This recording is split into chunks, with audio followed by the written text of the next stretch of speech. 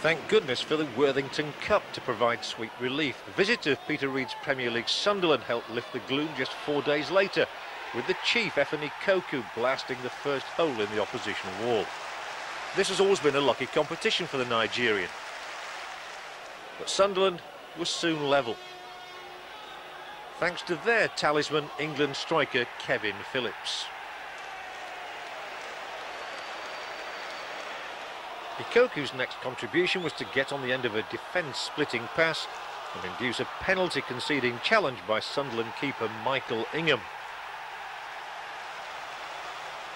The young Irishman thus found himself confronted by another just 12 yards away as Owen Morrison made him pay for his indiscretion. Penalties were very much in vogue on this night, but it was Sunderland who got lucky next as Alan Quinn twice nibbled away at Kevin Kilbane, the second time a little too much for the liking of the referee. But Quinn needn't have worried too much. The prolific Phillips stepped up, but Kevin Pressman made himself big to block the effort with some ease. But not even Pressman could do anything about Sunderland's second Levener, Kilbane, ever more influential, plied the cross, and Frenchman Lilian Laslandes plundered what turned out to be the one and only goal of his disappointing short stay in England.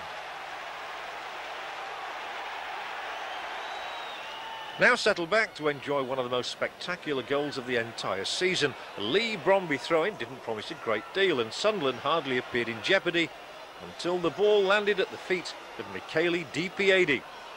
Bang! The Italian could have run all the way home to Palermo in celebration of that one. He seems to specialise in the spectacular, his awareness and execution worthy of closer scrutiny on the replay. Terrific technique. The same eulogy applies to the running and dribbling skills of Michael Gray. Unfortunately for Sunderland, his efforts were spoilt by Laslandes, his lack of expertise in the final analysis and Kevin Phillips, not much better. Wednesday were left to advance to the next stage in convincing manner.